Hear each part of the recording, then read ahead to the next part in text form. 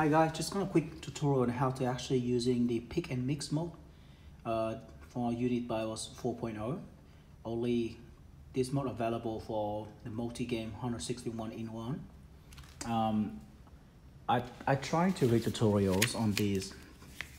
Uh, come with to UniBios 4.0. It doesn't make a lot of sense to me, and luckily I get the tips from JAMMA Nation X on how to actually uh, access the pick and mix mode and how to use it. Uh, with my current setup, which is the Astro City cabinet, and the Neo Geo MV1B is currently connected to the JNX Atlas, and has a CPS1 kick harness already hooked up to it. And the dip switch on the uh, JAMMA Nation X Atlas is going to be set to JAMMA pass-through.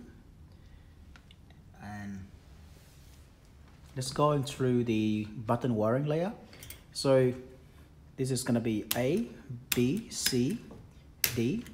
This button, fifth buttons, is going to be select or coin for the first player. So this is very important. This button do nothing. So it's gonna be start one, and the other side is gonna be start two. A, B, C, D. Gonna be coin two or select two. I don't think it's selective, it's just coin two, do nothing.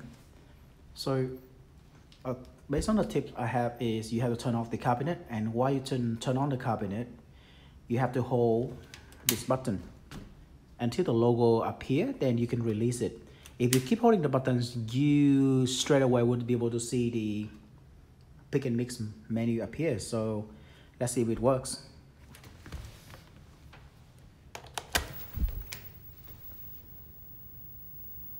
So I'm holding the button down, the fifth button, the select button, and there we go.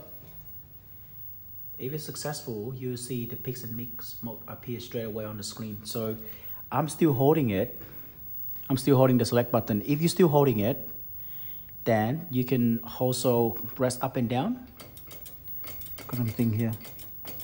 Up or down to choose the game. So if you want to choose that game, you just have to release the button So let's see if I choose the last blade game. I'm just going to release the button, release, release select button. And we choose the game.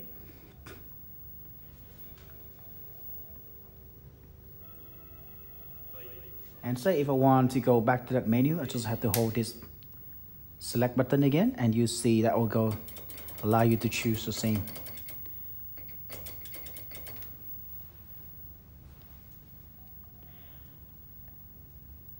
So based on what I heard is if you don't put any coins in or you don't press any start,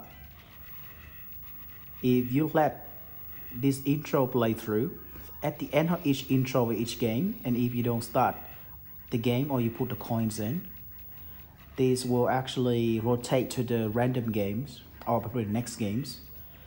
It's kind of like a track mode, so you leave it on running, we'll just jump to the next games and you know. So uh, uh, let, let's see if they actually do that. I'm just gonna wait until the intro over. There you go, it jumped to another game. This is probably Garou. So let's say if we play the game, so I'm just gonna, I'm on free play mode, so I don't need to put the coins in. Let's just play one game. So while you're playing the game, you would not be able to access the pick and mix mode menu at all. So if, if you see, I'm trying to hold this button, you wouldn't be able to see any menu appear at all. It wouldn't work. It would not allow you to access that menu at all. So in order for you to do it is you have to get yourself back to title screen of that game. So in this case, I have to actually get myself in game over so that you can go to that title screen.